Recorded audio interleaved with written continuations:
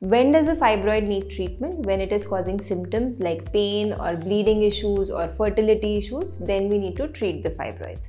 So usually, depending on the problem, uh, sometimes we have a medical management. Like if you're having heavy periods, we can try treating it medically. If that's not getting better, then we have to opt for surgical options. Fibroids which are causing infertility, they have to be removed surgically. So most of the times, the removal of the fibroid through a surgery, which is called myomectomy, is the treatment of the fibroid.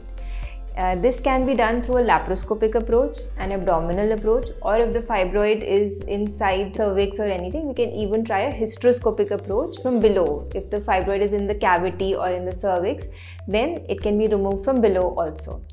If a lady has completed her family and there are lots of fibroids, then sometimes we even opt for removal of the uterus itself instead of removing all the fibroids separately.